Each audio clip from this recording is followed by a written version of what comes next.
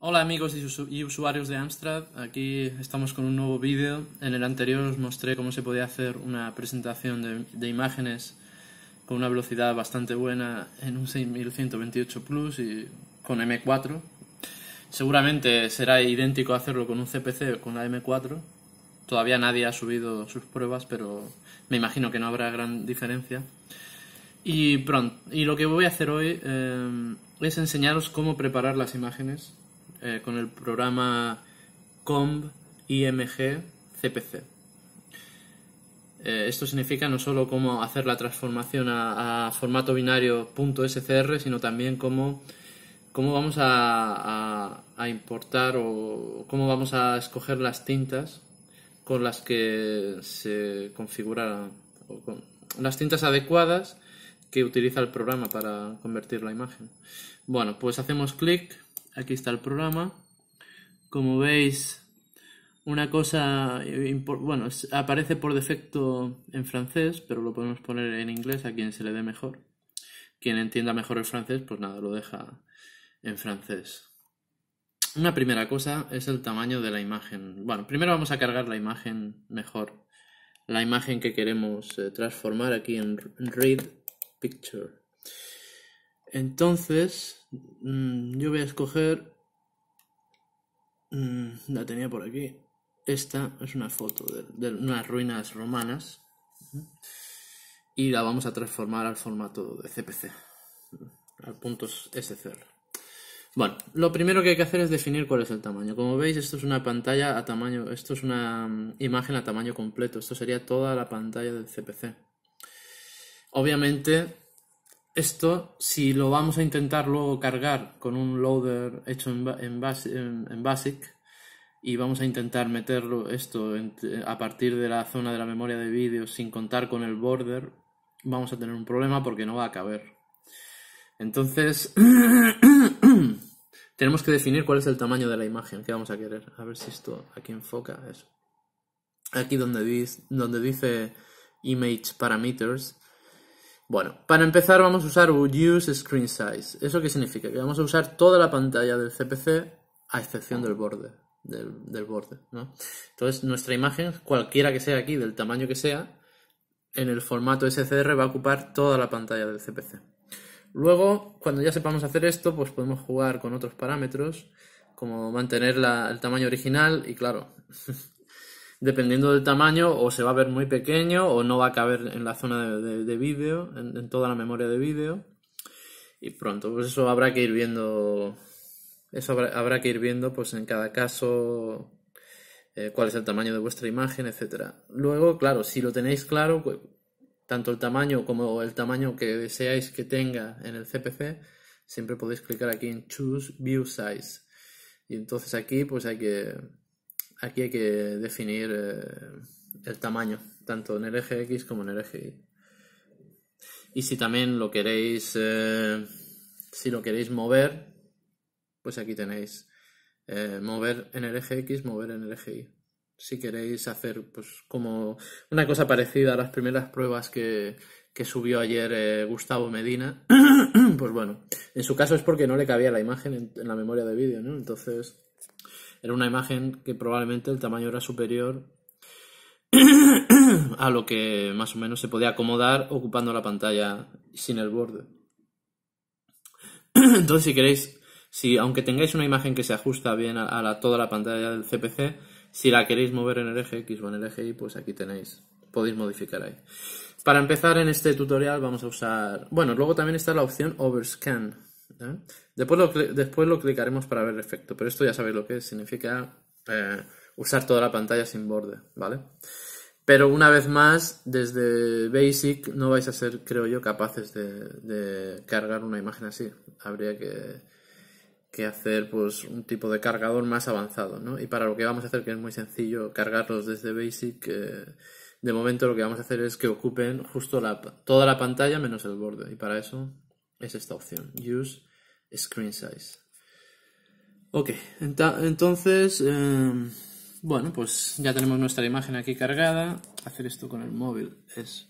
Podría estar capturando, pero luego tendría que grabar el audio aparte, en fin. lo, lo estoy haciendo con el móvil. Bueno, entonces aquí ya hemos cargado esto y aquí tenemos que empezar a indicar condiciones, ¿vale? Como veis aquí hay un, apartado que dice Process Parameters y ahí vamos a, empezar a indicar. Para empezar vamos a empezar con el modo. Tenemos los tres modos del CPC más el modo X. Que el modo X, una vez más, quien lo sepa, quien sepa jugar con ese modo, quien sepa hacerse un cargador para cargar algo en ese modo, probablemente en Basic no se pueda o si se puede pues hace falta un programa, etcétera, etcétera. Hay que programarse la manera de cargar una imagen en modo X. Por lo tanto, nosotros aquí lo vamos a dejar, ¿no? Y vamos a empezar con el modo 0 porque es el más colorido, ¿vale? Luego viene aquí este apartado, Dithering. Em, esto lo que hace es granular más o menos la imagen. Hay veces que cuando tienes imágenes muy planas que tienen muy poca, digamos, eh, ¿cómo decirlo? Poca, poca textura, a veces se consigue una mejor conversión de la imagen añadiendo ese dithering, que luego vais a ver qué efecto es. y luego aquí al final, bueno, podemos, hay tres tipos de dithering y, o no dithering. Eh, para empezar vamos a ver el no dithering y después, y después ya veremos. Esto que pone aquí por 2 por 3 me imagino que lo que define es el tipo de granulado, pero yo por lo que lo he, probado no tiene gran efecto. Después lo veremos también. Y aquí al final hay como tres opciones. Eh, smoothing, black and white ah, y nearest. Bueno, pues a veces las imágenes salen, sobre todo en modo cero, muy bloques, ¿no? Y clicando en smoothing lo que hace es eh, hacerlo como más suave. Eh, suavizar un poco el pixelado, ¿vale? Eso lo veréis después. Y bueno, aquí abajo está la paleta, que saldrá la paleta que, que esto se va a actualizar cada vez que hagamos un process, ¿no? Aquí, cuando ya tengamos las condiciones, clicaremos aquí en process y entonces veremos la imagen transformada. Y entonces aquí nos saldrán la paleta de 16 colores que ha usado, ¿no? Para, para la imagen que estamos viendo transformada existe la, posibilidad de escoger la paleta de los Plus, CPC Plus. Si hacemos eso, una vez más, tendremos una imagen donde a lo mejor la paleta te está usando el color 2100 no sé cuántos, el color 3100 no sé cuántos. Todos esos colores no se pueden usar desde, en el plus, incluso en el Plus desde, desde eh, Basic. Si lo que vamos a cargar desde Basic o con un cargador Basic o si, no hacemos uso de probablemente de código máquina o ensamblador o algún tipo de programa que, que nos permita usar la paleta del plus desde, vamos, desde Basic no, vamos a no va a ser posible. Por lo tanto, en este ejercicio nos vamos a centrar en la paleta de CPC que es totalmente compatible con el plus, ¿vale? Bueno, pues ya que estamos aquí, vamos a empezar, ya que hemos explicado más o menos las opciones, Vamos a empezar a definir condiciones. vamos a empezar en modo 0. Em, luego aquí vamos a empezar sin dithering, ¿no? Sin, y bueno, y estas opciones las vamos a ejecutar después. Vamos a empezar entonces, vamos process para ver cómo clicamos en process para ver cómo queda la imagen. Como veis, aquí el pixelado es importante en esta zona. Bueno, está bien, pero mm, el pixelado es muy fuerte. si queremos relajar un poco el pixelado, le damos a Smoothing y vamos aquí otra vez y hacemos Process. Como veis, mejora significativamente. Ya aquí se puede intuir que hay un camino, se puede intuir que estos son rocas. Ha mejorado bastante el aspecto. Si queréis probar Black and White, ok, vamos a probar Black and White. Bueno, en este caso pierde muchísimo la imagen. Podríamos quitar el, smoothing para ver, pero bueno, pixelado y en blanco y negro pierde muchísimo, así que de momento smoothing y black and white pasamos. Process. Vamos a ver el efecto de nearest. A veces lo que hace es aproximar los colores más a los originales. Eh, clicando esto, entonces vamos a ver. En mi experiencia lo que hace muchas veces es convertir negros a grises. Y la, imagen al final tiende a parecerse a una imagen de Commodore 64. Lo siento mucho, pero es así. Las imágenes de Commodore 64 usan muchos grisáceos y, pasteles porque usan la paleta es analógica, mezclan mezclan eh, colores que están definidos digitalmente con luego con diferentes tonos de o con diferentes porcentajes de negro o de tal y entonces hay muchos pasteles y muchos grises por eso. Pero bueno, vamos aquí a hacerlo y vamos a ver el efecto. A ver si encuentro mi cursor. ¿Dónde está? Mi, mi puntero aquí. Vale. Vamos a ver. Process. Efectivamente, si os fijáis. A ver, ¿dónde está? Ratón. Aquí. Si os fijáis, esta zona se ha vuelto gris y todo esto, todos estos huecos, todo esto se ha vuelto gris.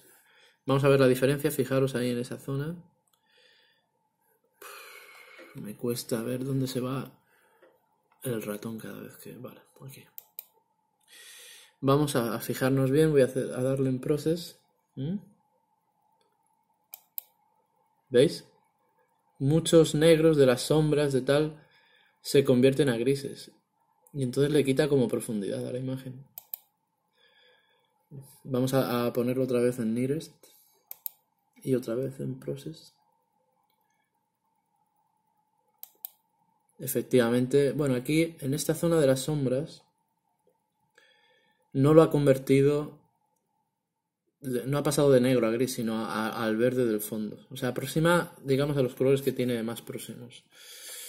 Pero la imagen claramente pierde profundidad de esta manera. Entonces, eh, yo lo que recomiendo es, eh, para esta imagen específicamente, lo que, lo que os recomiendo es que probéis con cada imagen, hay que trabajarla siempre para obtener el mejor resultado. Entonces aquí, pues claramente el mejor resultado es solo con smoothing. Ahora vamos a probar los dithering y vais a ver cómo la imagen se va a granular. En el fondo es como un efecto de raster o algo así. No, no es raster, es como se llama. Hay otro, otro tipo de efecto. No me acuerdo cómo se llama ahora, pero bueno. ¿Veis? A veces la imagen queda como más definida, a veces. No es este el caso, pero en muchas ocasiones, por ejemplo, aquí el cielo ha quedado mejor. Porque antes estaba dividido en dos colores, apenas y ahora pues es más uniforme, ¿no? A veces sirve para hacer más uniforme los colores. Fijaros, aquí son dos colores. Y aquí se vuelve más uniforme todo. También el césped. El césped se vuelve más uniforme. En el fondo es como un estilo impresionista, ¿no? Estoy diciendo una barbaridad, pero bueno, para que se entienda. Sería como pintar en un estilo más, más impresionista. Aquí tenéis con el segundo tipo de dithering, pues bueno, es lo mismo, pero cambia el tipo de granulación, digamos. Y aquí el tipo 3, pues bueno, un poco más fino, pero yo sinceramente para esta imagen no la veo con dithering. Hay otras que sí, que ganan, que, en este modo ganan más, y os pongo como ejemplo la que ha, subido Gustavo Medina de su amigo. Eh, él aplicó dithering y, quedó bien. Pero en este caso, esta imagen creo que no merece la pena. Queda mejor sin dithering. Yo, yo la veo mejor, no sé vosotros. esto ya es al gusto de cada uno. Bueno, con esto definido, ya sabemos cuál es el tipo de imagen que queremos exportar, cuál es la configuración, y aquí abajo tenemos la paleta de los colores que se están usando. Y y aquí nos da una lista de las tintas. Es la tinta 12, la 23, la 13, la 11, la 16. Aquí están las 16 tintas. Entonces significa que esta será... Están ordenadas aquí. Entonces esta será... Tiene que ser necesariamente el ink 0. Tiene que ser este. Y esta tiene que ser la ink 1. La ink 2. Por lo tanto, nuestro loader tenemos que tener en cuenta estos números, tenemos que eh, definir estas tintas inicialmente para que podamos reproducir la imagen con estos colores que estamos viendo aquí. ¿Vale? Entonces, eh, se puede salvar. Eh, como, pero bueno, esto, salvarla solo os sirve no sirve para, para luego representarlo en el CPC. Os sirve si queréis usar la misma paleta con 10 imágenes para no tener que buscarla todo el tiempo. La cargáis y más o menos si la imagen es del mismo tipo, pues vais a usar la misma paleta. O en una animación, por ejemplo, que usáis 10 fotografías consecutivas, tiradas igual en, la, en el mismo escenario, el mismo tal, pues vas a usar la misma paleta y no tenéis que directamente la cargáis y ya está, ¿vale? Pero en el CPC no tendremos más remedio que en nuestro loader. Eh, tendremos que anotar esto o guardarlo o cortar y copiarlo en un notepad o algo para luego en nuestro loader eh, incluir estos, estas tintas iniciales, ¿no? Bueno, yo lo voy a intentar copiar. A ver. Y vamos a ir aquí a un notepad. A ver.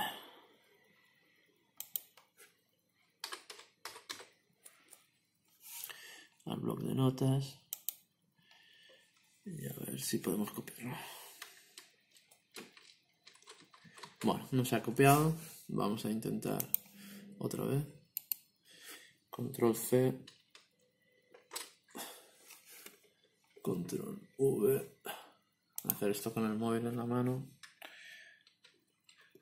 No se copia, pues bueno, pues a, a, mano ya está. 12, 23, 13, 11, 16, 25, 3, 26. 15,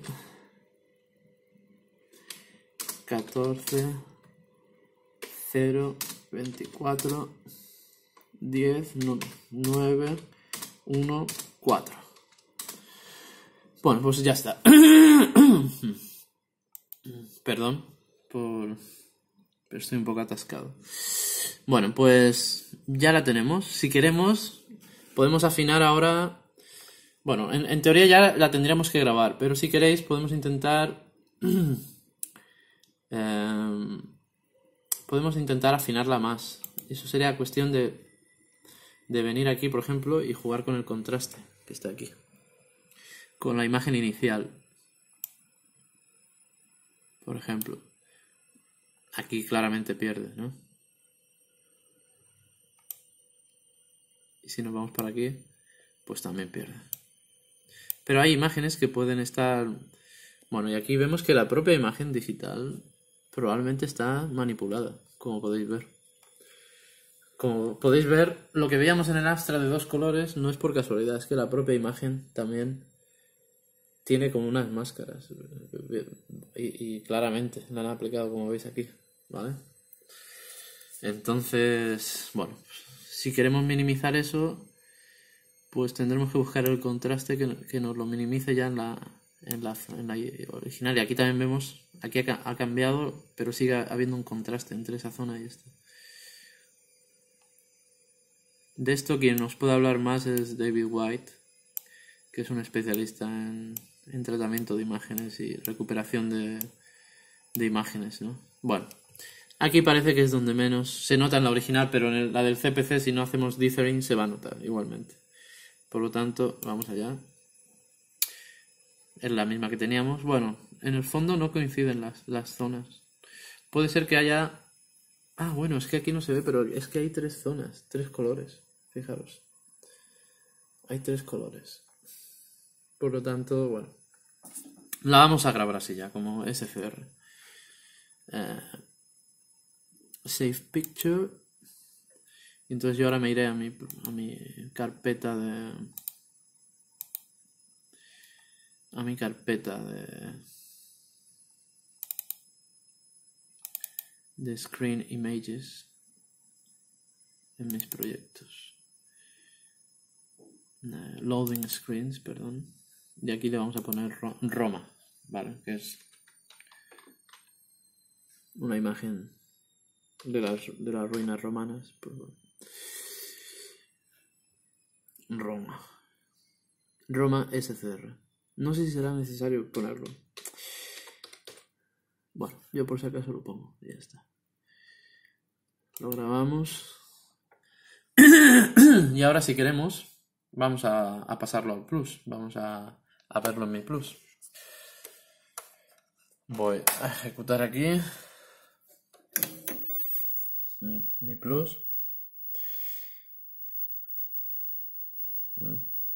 Vale, aquí tenemos la pantalla inicial.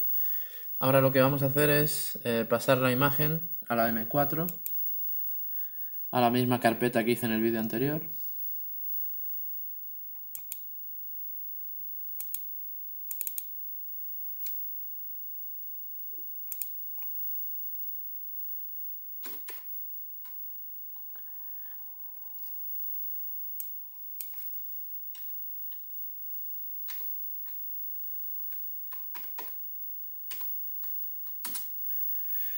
Bueno, eh, files.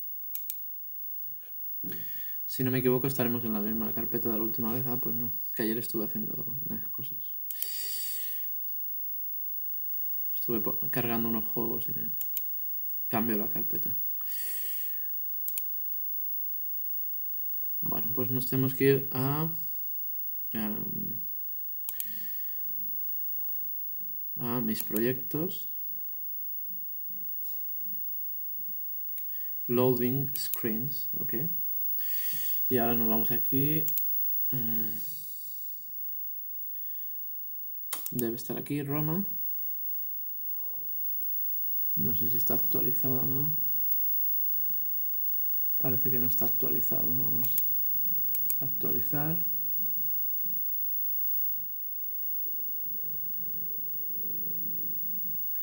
Y no la estoy viendo, a ver.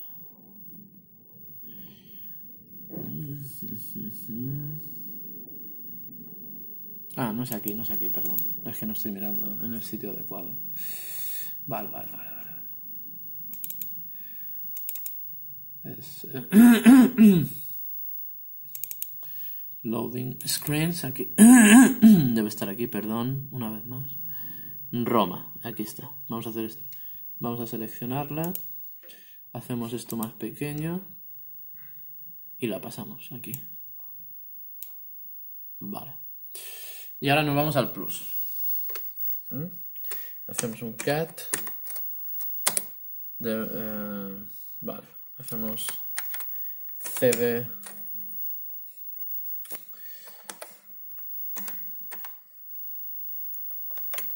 mis proyectos Estoy tecleando con la mano izquierda, por eso la velocidad no es gran cosa. Perdón. Que, desfoco. Mis proyectos. Ahora hacemos un cat. Vale. Ahora loading screens. Podía haberlo hecho todo de una vez, pero... Loading screens. Es lo que tiene improvisar. Dos no. Bueno. Ahora hacemos un cat. Vale, y aquí en algún momento aparecerá como Roma. Eh, aquí abajo. ¿La veis? Roma. Vamos a, a cargar el launcher, ¿no? O oh, bueno, vamos a cargarla directamente. Hacemos un pequeño cargador. Aquí. Eh, CLS, eh, modo cero, recordemos.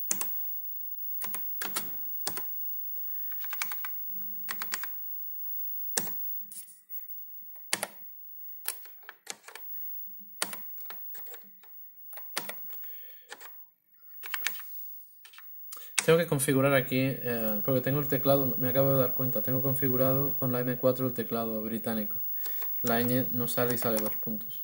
Luego os enseñaré también a lo mejor cómo hacerlo. Bueno, pues vamos directamente a las tintas. Ink 0, coma. Y entonces nos vamos aquí y miramos lo que hemos puesto. Mm, bueno, pues yo lo, iré poniendo aquí y ya está. Ink 012. Vamos a copiar. Vale. Eh, copiar inc. 1 coma 23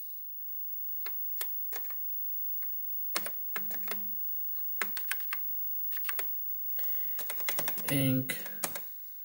2 coma 13 bueno aquí me acabo de dar cuenta que aquí es que esto hacerlo con el con el hacerlo con el móvil en la mano es un vamos lo vamos a pasar hacia adelante vale